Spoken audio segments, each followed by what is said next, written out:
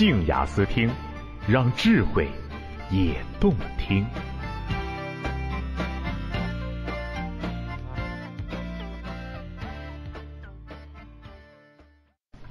永远的五月五，作者徐晓，朗读者蓝山。其实他并不是一个喜欢热闹的人，由于身体不好，他非常好静。特别是八十年代末以后，他变得更加沉默。没有客人时，他经常长时间一言不发。只要身体允许，他会找个棋友下围棋。尽管棋艺不高，长进不大，还是当个事儿似的买来不少围棋书，并且以会下围棋为荣。他可以长时间的阅读，而且读书的速度很快，阅读的面儿也很广。令我这个中文系毕业的望尘莫及。回到家，他做的第一件事是打开音响。他只听古典音乐，勃拉姆斯、比才、柴可夫斯基，也听贝多芬、肖斯塔科维奇。三年多住院生活，真正陪伴他的是我弟弟送的激光唱盘单放机、立体声单放机、收录两用机。朋友们来看他。唯一的要求是要书看，紧着找，还总是供不应求。他喜欢独处，即使是在人多的场合，他也总是沉默。沉默是他自卫和进攻的武器，便利而有效。在一次对峙性的谈话中，他曾经三个小时一言不发，真正的一言不发，对方也真正的奈何他不得。他生病之后，我为他整理过早年的情书。寄自南方，出自同一个女性的手笔，一个小有名气的业余作家。信写的浪漫而深情。我把几十封信排列起来，发现从头到尾只有一个主题，都是抱怨他不回信。我理解一个恋爱中的女人得不到一封回信、一句回答的无奈和无助。结婚之前，我们曾有过一次几乎导致分手的冲突。和大多数试图与情人重归于好的男人不同，他始终苍白着脸，咬紧着牙，不求不劝不哄，不说一句好话，单单执着的到我单位门口去等，而且回避着不让我看见。我的矜持最终扛不过他的沉默。结婚以后，对于他的铁嘴铜牙，我有了更多的领教。只要他不愿说话，任你怎样软硬兼施都无济于事。用不理他的办法和他赌气，算是上了他的当。如果你能坚持十天不和他说话，他一定会坚持二十天来回敬你。对朋友，他可以一味的违背自己，宽容无边；对我，则是苛刻到底。说来好笑，我们婚后第一次吵架，是因为一个不足一两的面团儿。包完饺子剩了几个皮儿，我做成了面条，连续两天都没机会煮了吃。天气热，面发酵了，变黑了，我扔进了垃圾桶。他指责我浪费粮食，我认为他小题大做，结果吵得不亦乐乎。他的节俭常常到了让我无法忍受的地步。最使我觉得不可理喻的是他病倒后的一件事，他得的病叫肠漏，肠子粘在肚皮上，溃疡后在肚皮上穿了一个洞。任何食物吃进去，等不到被吸收，几分钟后就流出来。看着他一天天衰弱，生命一天天的从他的体内流走，我急得满城求医问药。终于在三零幺医院得知，三零四医院新近发明了一种口服营养液。炎热的六月，我独自一人站在医院的院子里，拿着医生开的介绍信，眼泪刷刷的往下流。药属于自费。但只要能治病，谁会在乎花多少钱呢？第二天一大早，我骑车、坐地铁、走路，一个人跑到西郊买了三箱药，生平第一次自费打了辆出租车，兴冲冲的赶回医院。我瞒着他不让他知道花了多少钱，可还是被别人说漏了嘴。不出我所料，他嫌我花钱大手大脚，死活不吃。我伤心的一个人在楼道里落泪。与此同时。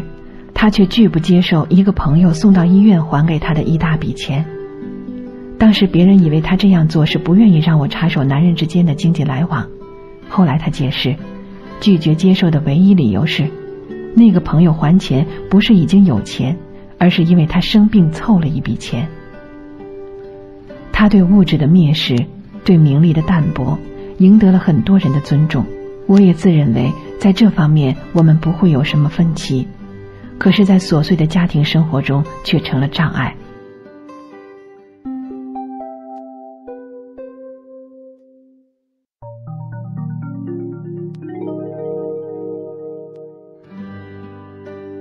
婚后第六年，我们终于分到了一套两居室楼房。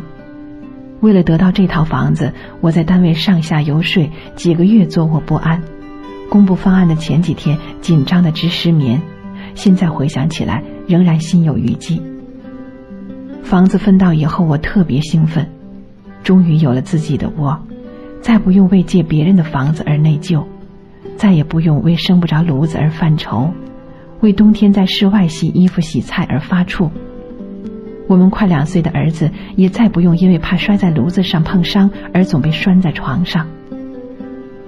他的放疗性肠炎引起常年腹泻，冬天夜里爬起来穿戴好了到胡同里去上厕所，一夜折腾几次，冻得就别想再睡。夏天一蹲半个多小时，被蚊子咬得受不了。这回他不用再为那倒霉的腹泻受罪了。作为主妇，我希望把我们的家布置得漂亮而温馨。作为妻子和母亲，我愿意尽全力让我的丈夫和儿子生活的不比别人的丈夫和儿子差。我有什么错？可他却说，对我来说，住楼房和住平房没有什么区别，住两居室和住阁楼没什么两样。我照样接待朋友，照样可以看书、下棋、听音乐。我们没有彩电。没孩子以前，我没觉得是个问题，可孩子渐渐大了，要看动画片儿，我想买一台。他说：“我们小时候不是没有电视吗？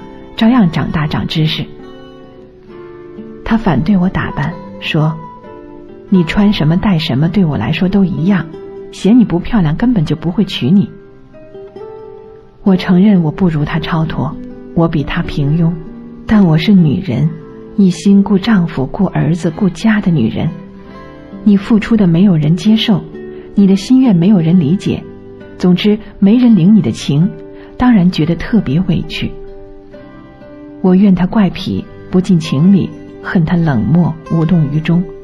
我觉得他的小气与大方、偏狭与极端，全是冲着我来的，全是为了折磨我。如今，当我把有关他的故事放在同一张稿纸上来写。把他的身体、他的经历、他的性格放在同一个屏幕上来看。当生命无可挽回的逝去，一切已经成为历史。坐下来从头到尾细细的读完他人生的全文，我发现其实这些不难理解。试想，如果他为名为利为金钱所累，他还是爱他的朋友们心目中的老周吗？如果他不是把自己看重的东西强调到极致，生活在分裂的时代，怎么可能保全自己不成为一个分裂的人？一个男人体弱多病，饱受折磨，没有强健的体魄、耀眼的成就，凭什么保有尊严、赢得敬重？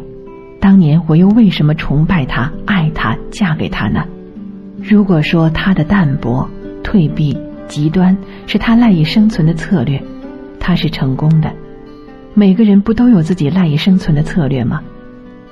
他站在社会的边缘，与现实的喧嚣、浮躁、伪顿形成反差，这本身已构成了意义，并给社会提供了意义。当然，他不是尽善尽美的，他选择传统中的光明，也被传统的阴影所笼罩。他蔑视世俗，却不能改变生活于分毫。如果有人因为把他看得尽善尽美而对他失望，不是他的错误，那么作为承受这一切的我，该抱怨什么？又能向谁抱怨呢？是的，生活在不断变化，不惜一切代价忠于一种观念，已经使人疲惫不堪。我们不该固守陈规，也没有必要总对往事耿耿于怀。但是。从那个时代走过来的男人和女人、老年人和中年人，不都或多或少、或心理、或生理、或内在、或外表，带有那个时代的痕迹吗？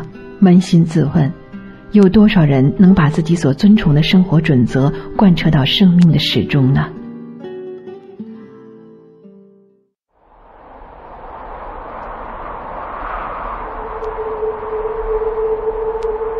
乡间旅店，七个普通游客，大雪封山，命案接连发生。厨房门口的死尸，房间角落的机器，清晨咚咚的响动，女孩刺耳的叫声。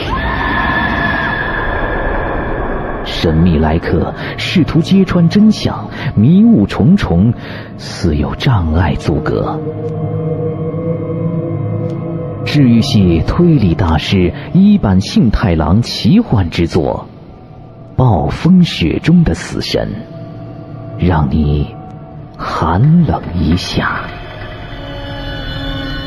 下一个死去的会是谁？